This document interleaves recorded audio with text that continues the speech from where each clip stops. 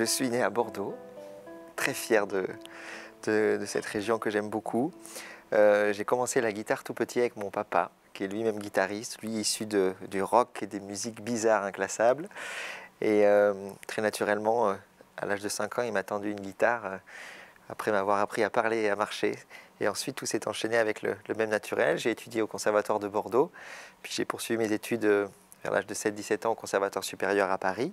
En parallèle de cette formation, j'ai passé beaucoup de concours internationaux, tremplin un peu inévitable dans la vie d'un jeune musicien classique quand on, on espère faire carrière. Euh, et j'ai vécu tout ça assez jeune euh, en âge, mais aussi dans ma tête avec une, une vraie naïveté.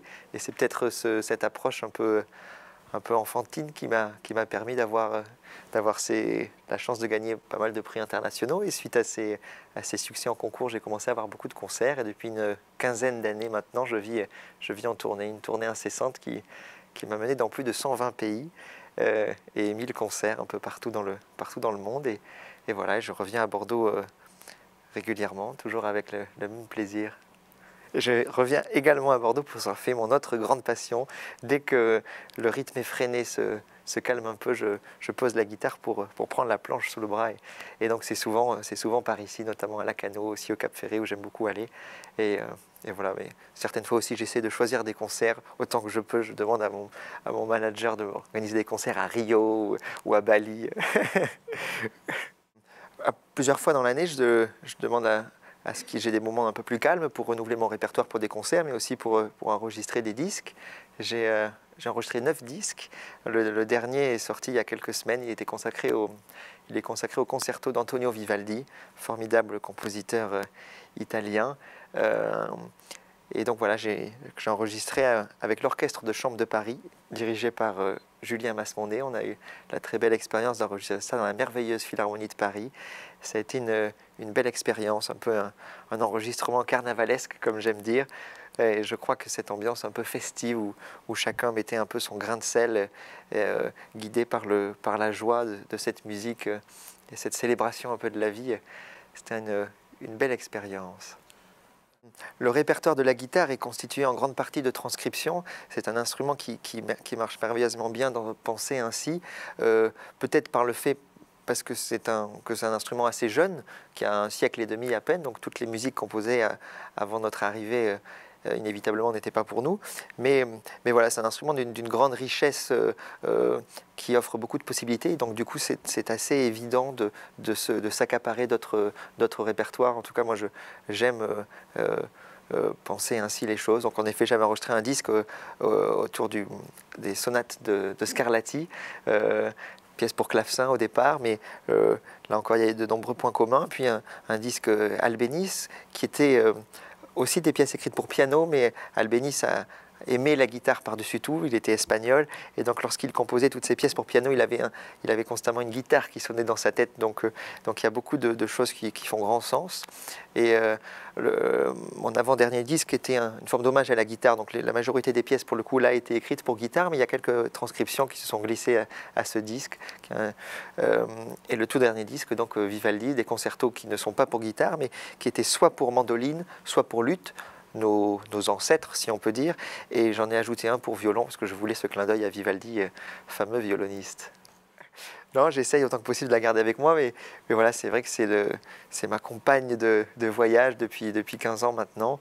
Et euh, je ne, j'ai une vie vraiment de, oui, de, de j'ai pas de maison, je, je vagabonde toute l'année euh, d'hôtel en hôtel, de salle de concert en salle de concert. Et, et voilà, et donc ces autocollants euh, symbolisent un peu, euh, c'est un peu comme le, le, passeport de la guitare tamponné de, de chaque pays où nous allons.